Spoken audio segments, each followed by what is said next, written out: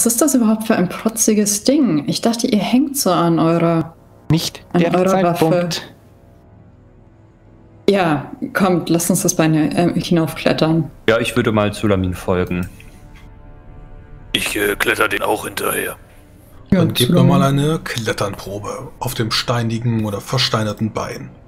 Ein Schwert erleuchtet. Ah, sie ist erleichtert um drei. Damit kann ich leben. Bei Klettern zählt. Äh, ja, warum nicht? Oh, das Macht- ist, das ist wahrscheinlich sowieso keinen Unterschied, aber Ist euch allen gelungen, ne? Ja, allen gelungen.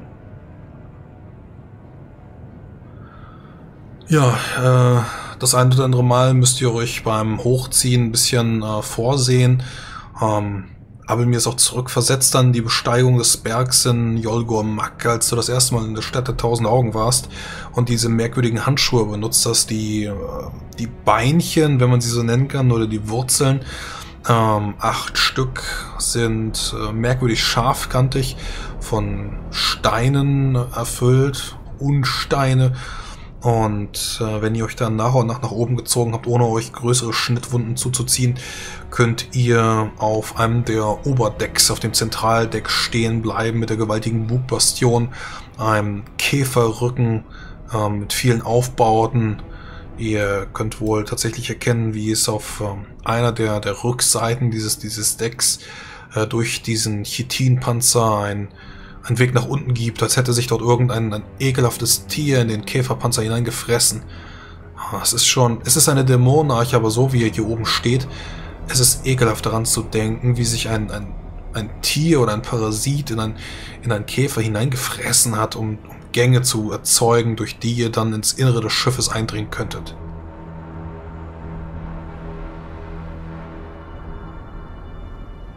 Wir sind hier richtig. Ich kann spüren. Ihr dachtet auch, dass wir an der Kette richtig wären. Ach, pappelapapp. Nun, dann die Wagenmutigen voran, nicht wahr? Ich probiere mir mich mal zu erinnern an die unsere erste Arche äh, und probiere mal zu erraten, wo es nach unten wahrscheinlich zum Archenherz geht. Dann hast du natürlich nichts verstanden. Jede Arche ist anders, jede Arche kann geformt werden von einem Kapitän. Und ihr seid sowieso in den Niederhöllen, so etwas wie eine physische Existenz oder eine Form gibt es hier nicht, hier ist alles Chaos. Aber wenn ihr nach unten kommt, könnt ihr mehrere Gänge sehen, die dort abzweigen. Ihr merkt den Rauch oder so etwas wie Unfeuer, immerwährender Dampf, der hier unten brodelt. Könnt Fische erkennen, die auf dem, auf dem Boden liegen oder Seegurken, die zertreten auf, auf den Gängen oder auf den, auf den Adern liegen und äh, dann folgst du dem Klang des Herzens. Vor allem, ich würde wahrscheinlich auch den, den Adern folgen. Je dicker die Adern werden, desto wahrscheinlicher ist es, dass man ins Zentrum kommt. ein pulsierender Rhythmus. Und je näher ihr kommt, desto mehr könnt ihr so etwas wie, nicht Heimat, aber so etwas wie Normalität der dritten Sphäre bemerken, wenn die Archenkäfer auch hier existieren. Sie sind keine richtigen Dämonen. Ähnlich wie diese merkwürdigen Würmer, die ihr gesehen hattet. Archenkäfer sind doch keine Dämoniden, sie sind einfach da. Sie gehören dazu. Aber man kann sie nicht beschwören, sie sind Paraphernalien, natürlich. Man kann sie für alchemistische Rezepte benutzen, aber sie sind keine Dämonen. Sie sind Flora und Fauna. Ich taste mal so eine Vorsicht dieser Wand ab und für die Konsistenz dieser Wand ab. Ja, ein feines Gespinst, was hier in, in dem matschigen Inneren des Käfers euch äh, führt in Richtung des Herzens. Dünne Zweige, die hier teilweise herumschweben. Du kannst, je näher du dem Herzschlag kommst, auch Schmiede, Schmiedefeuer hören und, und den Klang von, von Ambossen. Ihr seid mittlerweile einer anderen Sphäre, wohl sehr viel näher. Der von Agrimod, wo beides gleichzeitig existiert wurden sie doch aus zwei verschiedenen gerufen. Und teilweise könnt ihr auch sehen, wie, wie die Schleier des, des Limbus ist oder der, der Sphären reißen. Kurz vor eurem Auge könnt ihr ein gewaltiges, äh, anstatt dass es in Blau getaucht ist oder in ein le leichtes, seichtes Grün, ist es dann alles in ein, in ein rot, in ein Rosterot getaucht, wenn die Sphären vor euch aufreißen und knacken und äh, einige Blitze vor euch hin und her zucken. Und dann steht ihr vor dem Herz der Arche. Ihr könnt ein gewaltiges Monstrum erkennen, eingeschlossen von verschiedenen hm, Knochen, die über ihn hinüber wuchern und wachsen. Ein, ein Wesen, gewaltig groß, was euch glucksend und pulsierend anblickt. Ein Herzschlag. Die Kreatur besteht aus einem Herz. Und ihr seht, wie dort Wächter existieren.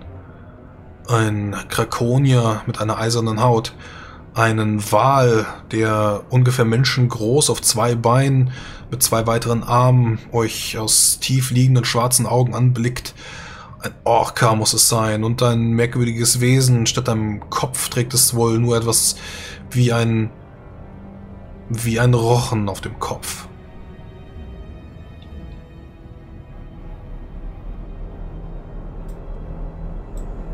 Ist es soweit, Kapitän? Sind wir wirklich hier? Das ist es. Was, Das Herz. was tun wir denn jetzt? Jetzt machen wir uns kampfbereit. Und mit diesen Worten würde ich eine Liturgie sprechen. Spricht eine Liturgie. Ähm, und zwar, warte, lass mich eben raussuchen, die anderen können ja eben weitermachen.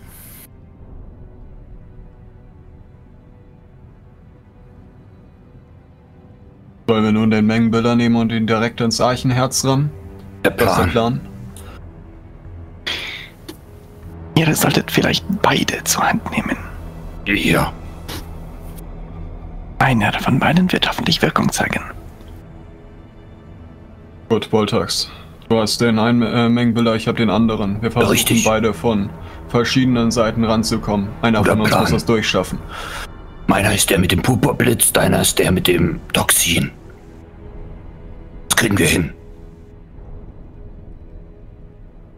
So, ich Gut. muss nur einmal die Modifikatoren wissen, die hier nicht erhalten werden, weil vermutlich sind es da einige. Also du bist direkt in den Niederlanden von Charybdorot.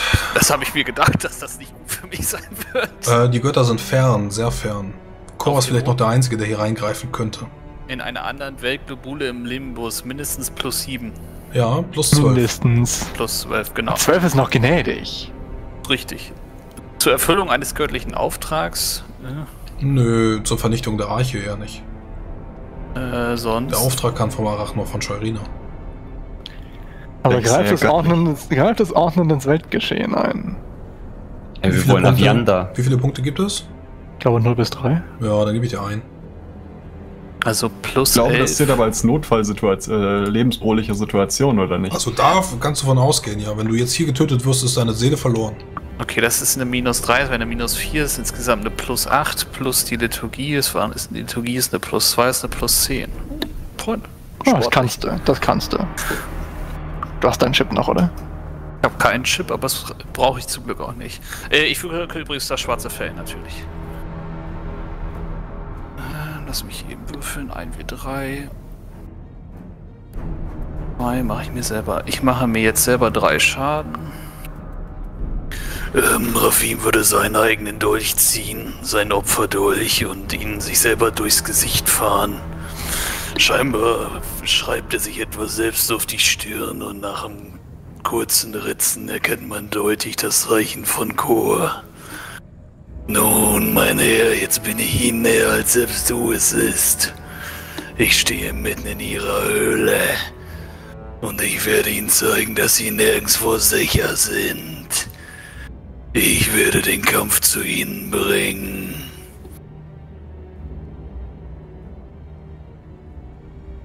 Und mit diesen Worten wachsen ihm wieder die schwarzen Schuppen von Farmalor. Und er blickt die anderen blutdürstig an. Seid ihr bereit? Nein, aber ich denke, das macht jetzt auch nichts mehr aus, oder? Das hat uns noch nie aufgehalten, nein. Bereit, wie man dafür sein kann. Der Orca beleckt einmal seine Zähne und ihr könnt sehen, wie der Krakonier wohl an seinen Gürtel greift. Ein lederner Gürtel aus Menschenhaut und zieht da zwei Hämmer hervor, die in einem dunklen Rot unheilig glühen. Wie weit sind im denn? Wie weit sind die denn von uns entfernt? Ähm, 20 Schritt. Okay. Ich greife an meinen Zauberspeicher und ziehe 7 ASP raus. Können wir uns in der Zeit orientieren, wo äh, Rafim seine Liturgie wirkt? Ja, von meiner Seite aus schon. Dann äh, würfelt Rafim seine Initiative so aus und alle anderen sind maximal orientiert. Dann geht Ja. aber auch das Archenherz auf die 21. Äh, ich möchte aber zaubern.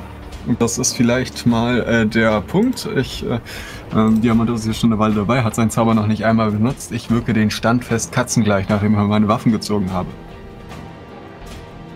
Blackeratz gefällt das. Du bezahlst auch nur die Hälfte. Ja, geil. Warum gefällt das Blackeratz? Ja, ja. Weil der Was? mich mag. Ja. Er hat einen Fanboy. Ja, aber. Whatever. Ist nicht Blackeratz ist wichtig. dass diese Seele nicht äh, hier stirbt. Aha, cool. Gibt er mir auch die halben ASP, oder? äh, äh, ja, du hast, ähm, du hast deinen Zauber aus dem Stab gezogen, also nein. Ich habe gar nichts gezaubert. Du hast 7 ASP aus dem Stab, irgendwas gemacht. Aus dem Kraftspeicher. Ja. Ja, wenn ich jetzt zaubere, gibt er mir auch die halben? Oder ist es ein Wenn, One-Time wenn, du, wenn, du, Only-Deal? einen- wenn du einen richtigen Zauber jetzt wirkst, dann ja, klar. Okay, cool, Ähm, gut, machen wir. Wichtige, Ach, wichtige. Frage, wichtige Frage. Ähm, der Krakonia-Priester. Ähm, erkenne ich, dass der Agrimot ähm, ge geweiht oder, äh, naja, als- dass die Hämmer Nennen wir, halt... es, nennen wir es geweiht. Ja. Ähm, also ich erkenne, dass, dass der dem zugehörig ist. Äh, ja, also du hattest nicht viel mit Agrimot äh, oder Angrimosch zu tun, aber Er, als, sieht als, schon, er sieht schon sehr bedrohlich aus mit seinem als Hammer. Schänder der Elemente und, Und du als weißt auch, Diode. dass du weißt auch, dass die Arche auch aus- aus Agrimots Sphäre ja, äh, beschworen wurde. also ich, ich meine, ähm, ich kann da schon herstellen, die ich denke Verbindung. schon. Gut. Gut. 17 Serpentilio. Äh, ich stehe neben Zulamin, nicht wahr? Du stehst neben Zulamin. Und ich hau ihr vermutlich mit mehr Kraft, als es nötig ist, den, den Stab einmal zwischen die Schulterblätter und löse einen Armatrotz aus. Äh, ich würfel erstmal kurz, bevor wir jetzt mit Modifikatoren anfangen, die. Ich schwöre, ich habe das eingetragen. Ich schwöre, ich habe das eingetragen. Ach ja, sonst. Was möchtest du wirken? Sorry, die äh, Auslöserprobe. Mit 13, Amatros ist ein B-Zauber. Ja, ist das locker flockig geschafft. Ja, Das alles klar. 17 hat mich erst verwirrt. Ähm, Sulmin hat ein 8er Armatrotz. Für 13 Aktionen. Dann notiert sie sich das bitte selber und wir machen, das hat wie viele? Eine Aktion? Das war eine Aktion, in der zweiten werde ich mich, ich bin zwar schon orientiert, aber doof Weiter basically. orientieren. Hier, 18 Also das. ich nur hinter, hinter Rockzipfel Ich würde kauern. mich, ich würde mich tatsächlich nach vorne bewegen, aber natürlich mit den anderen auch. Also ich gehe mal davon aus, dass die anderen sich nach vorne bewegen werden und ähm, entsprechend Ja, du halt legst jetzt deine Bewegung fest. mitgehen. Ja, ich bin ja eh nicht so schnell. Also Die anderen Gehe. ziehen nach oder vor, aber ja, du ich gehe ents entsprechend meine vier Schritte nach vorne und ähm, ja, dann sind ja erstmal die anderen dran und dann kommt ja noch meine zweite Aktion, in ja, der du, ich dann kannst deine, wahrscheinlich. du kannst deine zweite Aktion mal- schon sagen. Ja. Okay, ja, dann gehe ich auch nochmal vier Schritte. Gut, dann Rafim 19. Ja, rein. Ja, willst du laufen, sprinten? Äh, ich möchte mit Boltax. Formation halten, damit Gut. er nicht einfach komplett umgebolzt wird. Ja, das mache ich jetzt. 21. Dann wirke ich jetzt äh, mit allen meinen Paktierern und dem Archenherz gleichzeitig. Das Archenherz, ich muss gerade mal schauen, wie weit seid ihr entfernt? Reicht noch nicht. Aber äh, ich lege an und zwar mit meinem Wächter auf Boltax. Äh, er streckt seinen Finger aus. Aquafaxios. Dem kannst du ausweichen. Und schießt einen engen Strahl Aquafaxios Unwasser in dein Gesicht. Eigentlich hätte er vorher sagen müssen, wie viele Würfel er da reinlegt. Ja, 5. Ist ja in Ordnung. Ähm, wie gesagt, ich habe meine beiden Aktionen schon verwendet. Du kannst frei Ja. ausweichen. Du kannst frei Ja. ausweichen, wenn du möchtest. Ist eine plus Ja. 8, wenn du willst. Das, Du äh, musst da ich, halt vorher die Magiekunde-Probe schaffen, um zu sehen, dass er das überhaupt macht. Aber ich glaube, du hast ja noch Nein, Aquafaxius, seine, oder? seine Initiativeprobe ist äh, Ich glaube, wir sind vor allem schon mit genug Aquafaxien beschossen worden mittlerweile, dass das automatisch geht. Okay. gehe auch stimmt, davon stimmt. aus, zumal ich halt auch noch ähm, Merkmalskenntnis Elementarismus habe. Aber Seine ähm, Initiative ist einfach äh, so, dass du es nicht gesehen hast. Punkt. Ja, das ist ja in Ordnung. Ist ja so oder so egal. Wie gesagt, ähm, das bringt auch nichts frei auszuweichen, weil ich nur mit einer 1 frei ausweichen würde. Ähm, Entschuldigung, welcher macht das? Der blaue, also der, der, mit Wächter beschrieben genau, der ist. Wächter. Du kriegst keine 8er Erschwernis, sondern eine 5er Erschwernis. Eine 5er Erschwernis. Da kommst du locker flockig hin. Okay, gut. Ja, komm, wir probieren es aus. Ja, auf die Äh, 3, ne? Ja, auf die 3. Es kann ja immer äh, klappen. geht immer Ah, leider 13. nicht. Ich habe ja immer das Würfelglück. Okay, ähm, dann ist das ein Aquifaxius. Enger Strahl. Ähm, schauen wir mal nach, was der alles so macht. Ähm, 18 Schadenspunkte. Der hat eine gesenkte Wundschwelle und Wundschwelle geht runter. Und dann müssten wir uns die Wassermodifikatoren angucken für Unwasser. Ja, die musst du wissen. Die Don't. Ja. Ja, äh, ertrinken. Wenn es eine Wunde ist, dann fängst du an zu ertrinken. Weil du Unwasser Wie gut, dass ich hast. Pupurwasser getrunken habe. Richtig. Das hilft. Ja. Ähm, ich 18, nehme Wundschwelle minus 2. minus 2, alles klar. Ja, da kriege ich auf jeden Fall eine Wunde, trotz der Tatsache, dass ich eisern bin. Rechtes Bein. Und er kriegt halt noch 3 Punkte Erschöpfung, aber ich glaube, da können wir einfach drüber hinwegsehen. Ja, Erschöpfung müssen wir nicht machen. So, das Ist ist, ist tatsächlich eine Wunde am rechten Bein. Muss gerade mal gucken, welche. Achso, wichtige Frage. Ich war ja vorhin nicht da gewesen. Haben wir Unverwundbarkeitselixiere getrunken, ja oder nein? Nope. Nein. Nope. Nope. Okay, alles klar. Nur, dass ich das für die Rüstung weiß. Gut, Dann- dann, geht mein Wehrwahl. Ähm, ja, doch, der bleibt. Er ist. Er, würf, er würfelt mal. Er würfelt mal auf ähm, Ich muss erstmal noch Intelligenz. die, äh, die Selbstbeherrschungsprobe machen. Fünf, das reicht. Dann bleibt er da. Und der Draconia-Priester bleibt auch beim Herz. Die ist aber geschafft. Die wandeln also um und verteidigen, aber mir. Äh, ich mache ein Guardianum auf mich, äh, und zwar der Variante Schild gegen Zauber, persönlicher Schild. Das wäre grundsätzlich immer plus 3, plus 5, also plus 8. Für kurzes Zauberdauer gibt immer plus 3. Äh, wir dann plus 11, wenn ich richtig glaube. Okay, verkürzte Zauberdauer heißt zwei Aktionen oder wie viel? Eine dann. Eine, eine Aktion. Eine Aktion. Wäre gelungen. Dann die nächste Aktion. 6 ZP äh, würde ich meine äh, rechte Armschiene auslösen. Äh, die ist ja bekannt. Äh, eine Umkehrung des Plumbarums und äh, kostet mich 6 ASP und steigert meine Attacke und meine Inni um 10 Punkte für 5 Kampfrunden. Alles klar, das kannst du dir auch notieren. 24 Diamantes.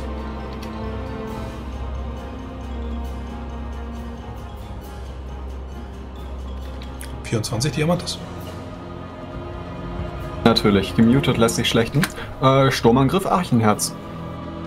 Mit der äh, Schnellziehen Mengenbiller. Äh, und ich stürme drauf zu und möchte das äh, Herz direkt attackieren, wie es der Plan war. Ich, äh, 28 Schritt, dafür ich genau. Hast du Sturmangriff? Äh, ist Sturmangriff mit Dolchen überhaupt möglich? Oh, das ist mal eine Frage. Gib mir eine Ähm, Minute. Dolchen. Ich glaube nicht. Ich bin mir sehr sicher, nein. Ja, okay, dann machen wir es äh, einfach. Aktion Position zum Eichenherz. Gut, du sprintest hin mit standfest Katz- Katzen gleich. Und du willst also noch nichts machen. Ich hätte sowieso eine Parade auf. Sturmangriff ist nicht möglich. Ja, gut. Zulapin 32. Ich möchte gerne den mit einer Aktion den Acceleratus auslösen und dann einen Sturmangriff auf den blauen machen. Ist das möglich? Äh, Ein Sturmangriff, das kostet dich Zwei zwei Aktionen. Aktionen. Und ich habe aus meinem Waffenmeister drei. Ja, dann erlaube ich das. Okay. Solange, solange du deine Waffe in der Hand hast. Ja. Er hat einen sehr kampfbereit gemacht. Du musst aber das Schlüsselwort sagen. Okay, ähm, Zulamin spricht das Schlüsselwort Krwrzr und ähm, macht einen Sturmangriff auf den, der gerade Boltax angegriffen hat. Das sind 25 Meter, sollte passen. Ja, Geschwindigkeit. Ähm, jetzt, Achso, 8 oder 9? Zulamin hat nämlich 9. 9. Genau, und äh, dann muss noch der Sturmangriff klappen. Das ist eine äh, plus Erschwernis. 4. Ähm, eine plus 5, weil ich immer noch 1 entrückt bin. Hat er möchte noch Aktionen? Nee, oder? Äh, der Nee. Wächter hat keine Aktion, das Archenherz und der Orca und der Quotazielpriester. Ja gut. Ähm, die, Ja. ha- die haben eine höhere Inni als ich. Äh, nee, haben sie nicht. Die haben noch, die, die haben auch nur pariert, also. Ja, ich fragte nur, weil dann äh, pariert er auch nicht. Also Nö, viel Spaß. tut er auch nicht. Zudamin, gib ihm.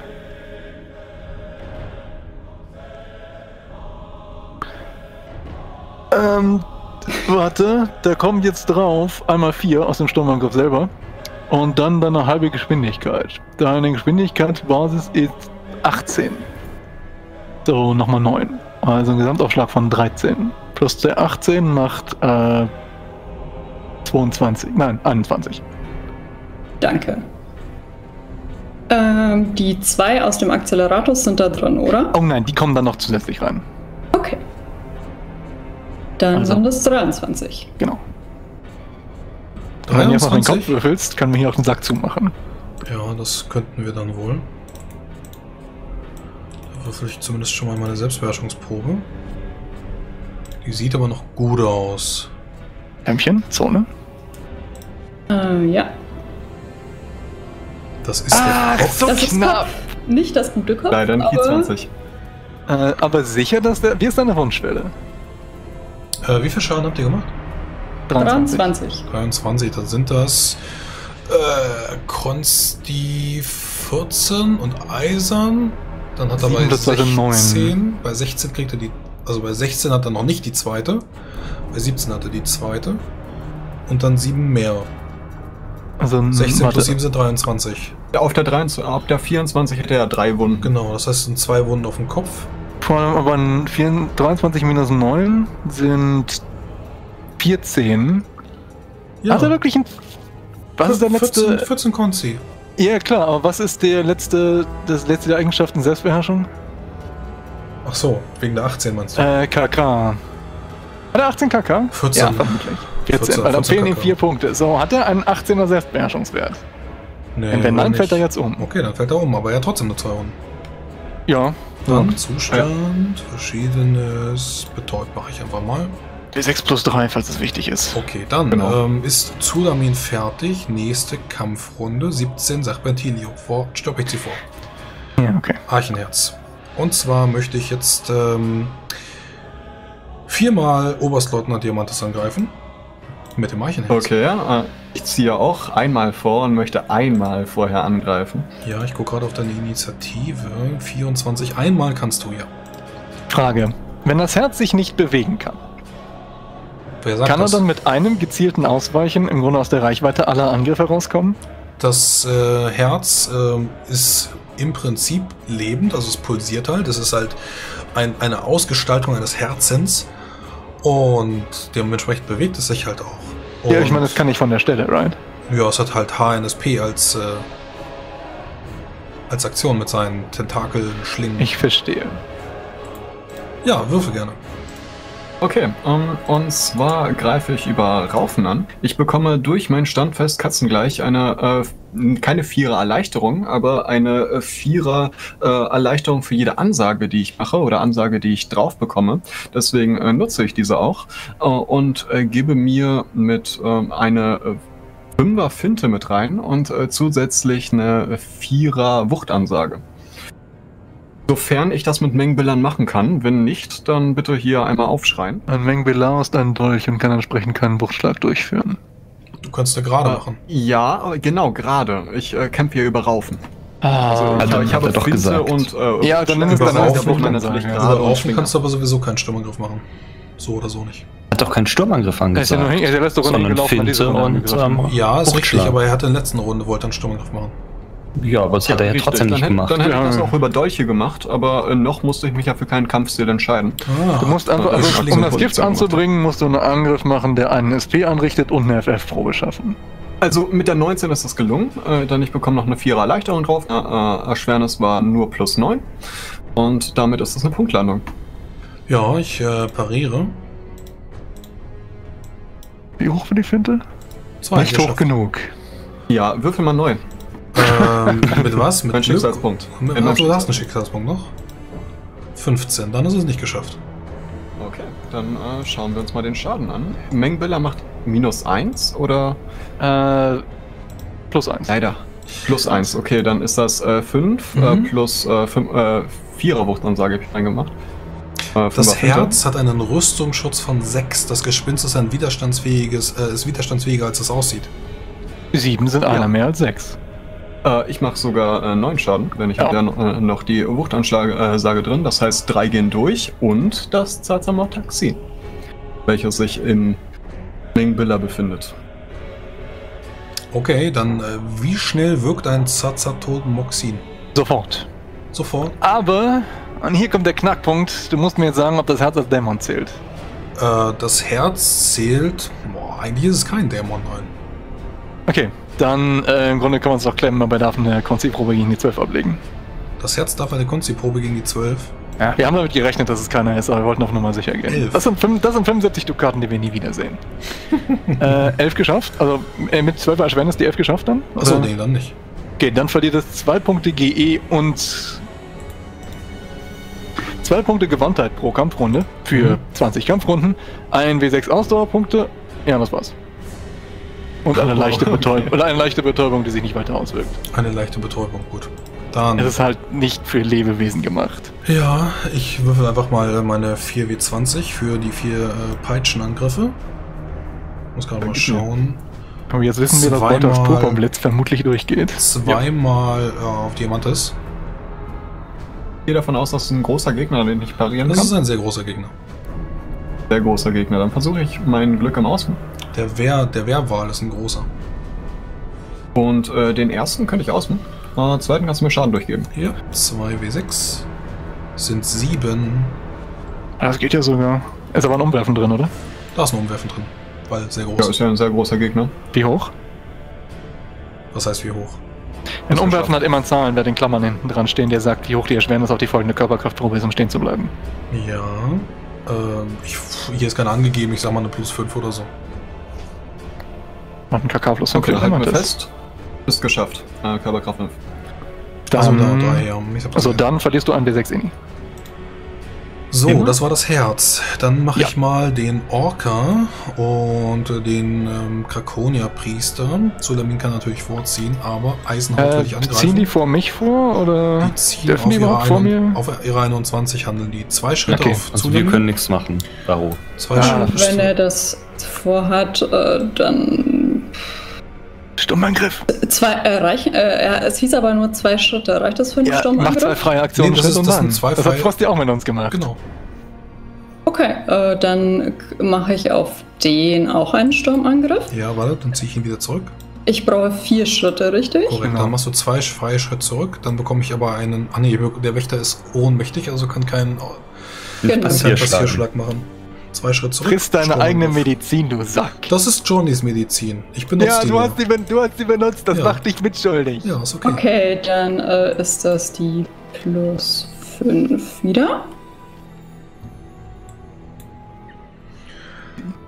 Ja, er hat wie gesagt zwei Hämmer von Agrimot in den Händen und kann natürlich auch parieren. Seine Parade ist ein Zweierschwert. Ja, er versucht es trotzdem. 19 nicht geschafft. Ich wünschte, ich hätte mir das gerade eben aufgeschrieben. Ich dachte nicht, dass auch mal ein Sturmangriff kommt. Warte, 9 plus 4 sind 13, plus 2 sind 15. Naja, sie macht jetzt den gleichen Schaden wie eben, nur 5 mehr. Ja, 13 plus 15 sind 28. Genau, die plus zwei hatten wir ja dazu gerechnet, oder? Genau. Ja, sie hatte eben eine 1 gewürfelt und jetzt hat sie 5 Schaden mehr, weil sie eine Äh, 6 Genau, gewürfelt hat. Ja, wie gesagt, 28. Ja.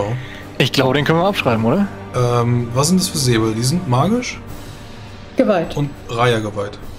Raya geweiht. Der Trefferzone?